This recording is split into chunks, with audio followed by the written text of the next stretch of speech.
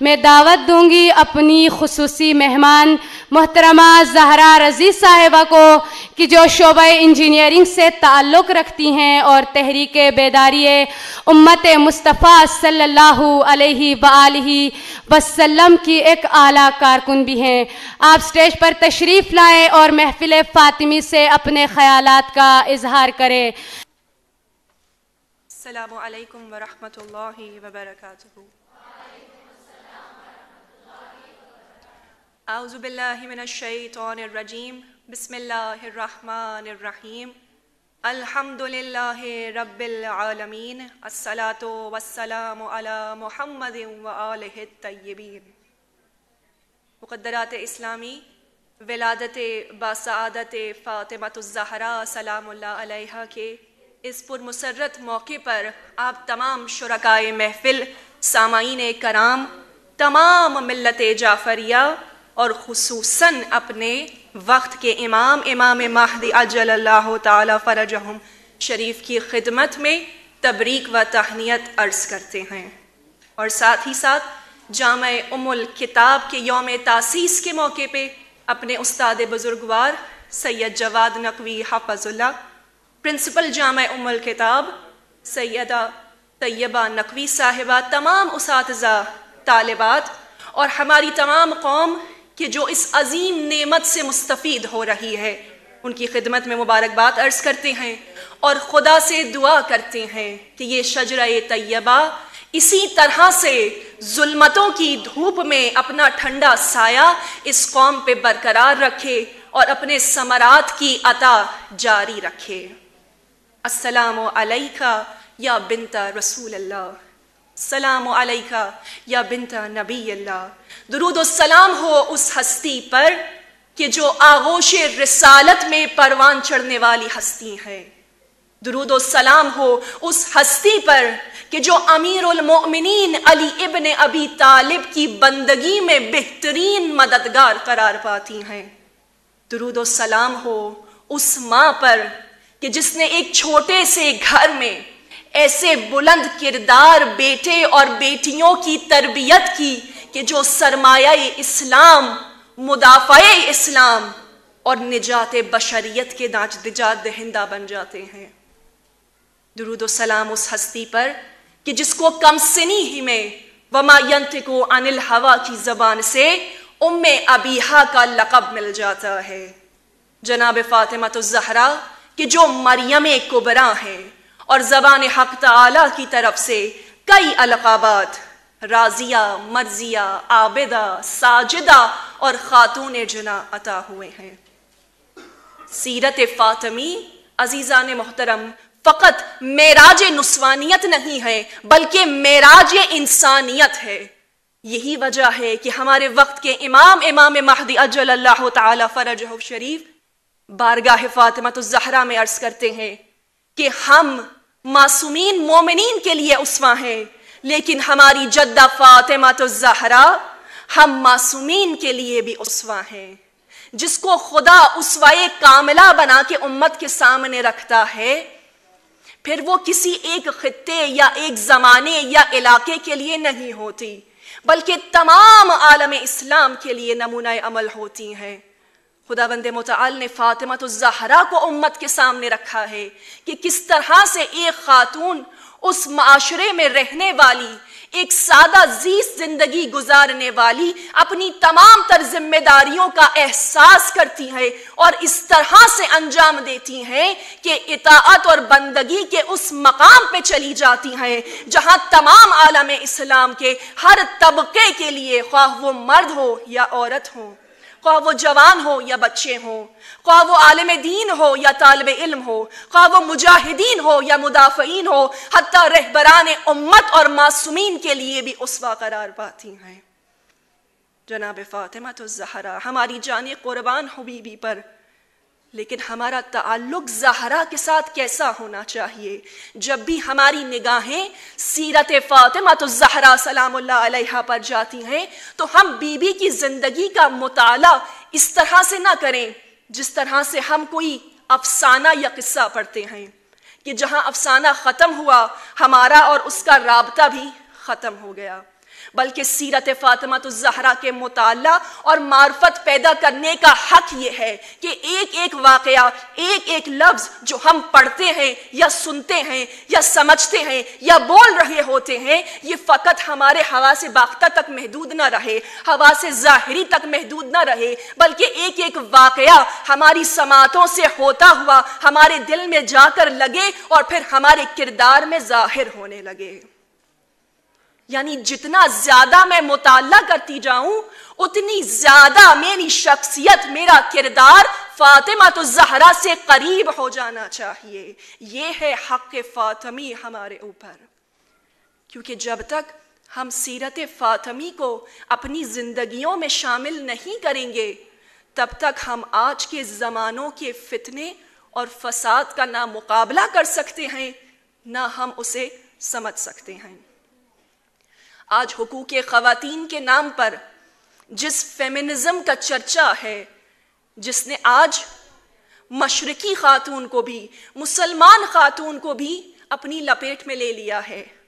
अजीज़ा ने मोहतरम, ये दरअसल में एक बुत है। बुत खुदा के मुकाबिल आने वाली हर शय को कहते हैं, ख्वाह वो बुत पत्थर के हों या अफकार के हों। कैपिटलिज्म कम्युनिज्म फेमिनिज्म सोशलिज्म ये जितने भी इज़म्स हैं, जिनके आखिर में आईएसएम आ रहा है, ये तमाम के तमाम तोहीद के इनकारी हैं और तागूत हैं। ये तमाम निज़ाम इलाही के भी मुनकर हैं और वजूद खालिक के भी मुनकर हैं। ये डिवाइन गाइडेंस को पुराने गुजरने वाले लोगों की सोच करार देते हैं। लिहाजा आज उसकी ज़रूरत महसूस नहीं करते।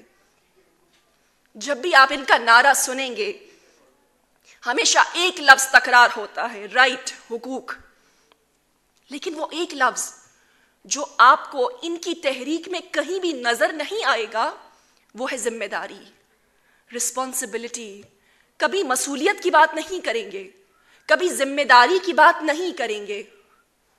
और दरअसल में जिन हुकूक की बात भी कर रहे होते हैं ये हुकूक वो हैं कि जो कैपिटलिज्म को फ़ायदा पहुँचा रहे होते हैं, या जो जिस्म और शहवत से मुंसलिक होते हैं।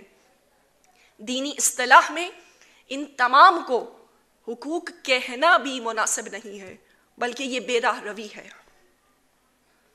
उन्नीसवीं सदी में जब इस तहरीक का आगाज़ हुआ तो ये आगाज़ मगरब की अपर क्लास खवातीन ने किया था। जब उनको इस सरमाया दाराना निज़ाम ने इस इस बात बावर कराई ये बात कि मर्द जो घर से निकल कर काम कर रहे हैं, दरअसल में यही काम इस माशरे में हैसियत रखता है। और औरत जो काम अपने घर में अंजाम दे रही है, ये बेवकत है और उसकी सलाहियतों का ज़िया है। बस जब औरत को यह बात बावर कराई गई तो उन्होंने हुकूक का मसावी हुकूक का नारा लगाया इक्वल राइट्स का नारा लगाया। और एक तरफ़ ये तकाजा किया कि मर्दों और ख़वातीन के हुकूक बराबर होने चाहिए और ख़वातीन पे होने वाला तशद ख़त्म होना चाहिए। लेकिन सितम ज़रीफ़ी ये है कि एक तरफ़ तो ख़वातीन पर होने वाले तशद के ख़िलाफ़ बात की जाती थी और दूसरी तरफ़ क्योंकि ये अपर क्लास प्रिवलेज खातन थी, इनके मातहत एक कसीर तादाद गुलामों की और कनीज़ों की होती थी। एक तरफ़ नारा लगाती हैं कि खातन पर तशद बंद किया जाए, और दूसरी तरफ़ जो इनके मातहत गुलाम हैं, उनके साथ इनका रवैया वहशियाना होता था। यह है फेमिनिज्म का मुनाफिक चेहरा। यानी जहाँ अपना मफाद हो, वहाँ पे आवाज़ बुलंद की जाए। वरना बाकी तमाम मैदानों में खामोश रहा जाए। इसके मुकाबले में दीन इस्लाम ने एक बेहतरीन रूप पेश किया है और वो रूप रूप फ़ातमी के तौर पे सामने आया है। फ़ातमी रूप के सामने हमारी, फ़ातमी रूप की सूरत में हमारे सामने आया है कि जिसमें अवाइल से ही ग़ुलामों को, इंसानों वाले तमाम हुकूक अता किए गए। यहाँ तक कि जनाब फ़ातिमा तो जहरा ने अपने घर का माहौल ऐसा बनाया था कि जहाँ पे उनकी औलादें उनकी कनीज़ों को माँ कहकर पुकारा करती थी। अब हमारे सामने ये दोनों चेहरे मौजूद हैं, ये दोनों रास्ते मौजूद हैं। इंतखाब हमने खुद करना है। आया हम उस निज़ाम को मुंतखब करते हैं कि जो खालिक का बनाया गया है। वो निज़ाम कि जो मखलूक की तमाम तर ज़रूरियात को पूरा करता है। जिसमें आला इकदार नज़र आते हैं, या फिर वो निज़ाम कि जो इंसान की नाकस अकल ने खुद तरतीब दिया है, जिसमें इखलाक की पस्तियाँ हैं। बस अजीज़ा ने मोहतरम फेमिनिज्म का मकसद ख़ानदानी निज़ाम को तबाह करना है। ये कहते हैं कि किसी मर्द का किसी औरत पे कोई हक ना हो, ना कोई वली हो, ना कोई सरपरस्त हो। औरत खुद सालार हो और अपने तमाम मामलात खुद तय करे। ना उसका अपने शोहर की नस्बत, ना उसका, उस, अपनी औलाद की नस्बत और ना अपने वालिद की नस्बत। किसी भी तौर पे ना कोई ज़िम्मेदारी हो और ना कोई पाबंदी हो।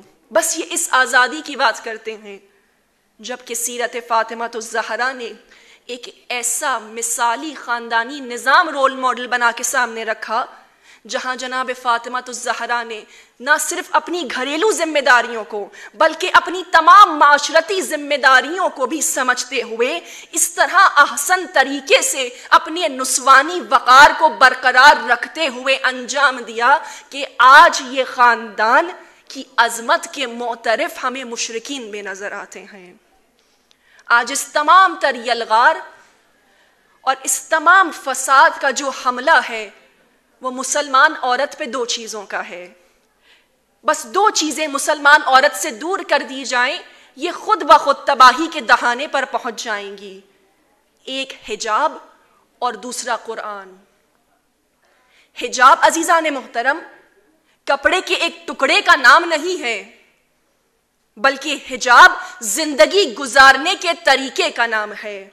ऐसी ज़िंदगी कि जिसका उनवान इतात खुदाबंदी हो, ऐसी ज़िंदगी कि जो तकवा, हया और इफ़्फ़त से मुजयन हो, ऐसी ज़िंदगी कि जहाँ जलवतों से ज़्यादा खलवतें पाकिजा हो औरत की।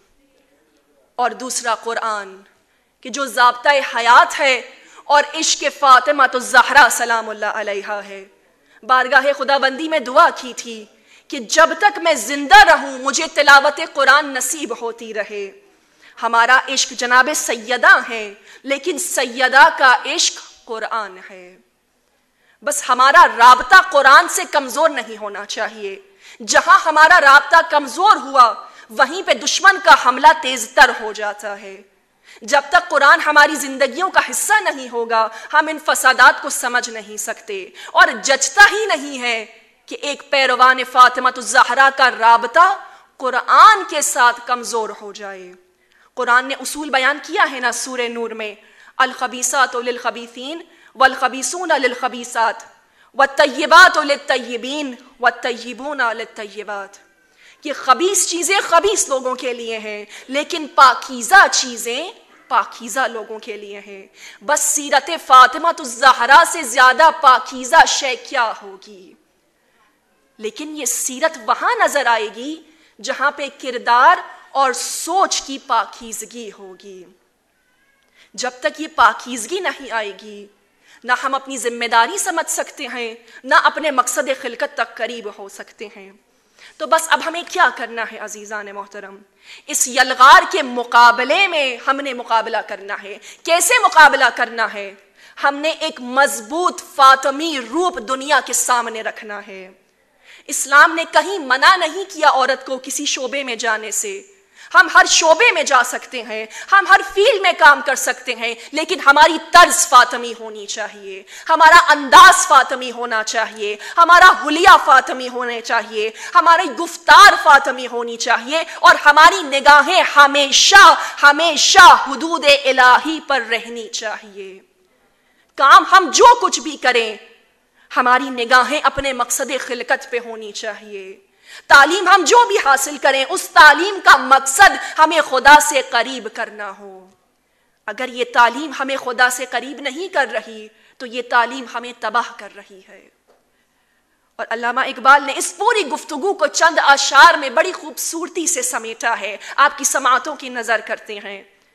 तहजीब फरंगी है, अगर मर्ग उमूमत तहजीब फरंगी है अगर मर्ग उमूमत है हज़रत इंसान के लिए उसका समर मौत जिस इल्म की तासीर से जन होती है ना जन, जिस इल्म की तासीर से जन होती है ना जन, कहते हैं उसी इल्म को अरबाब नज़र मौत।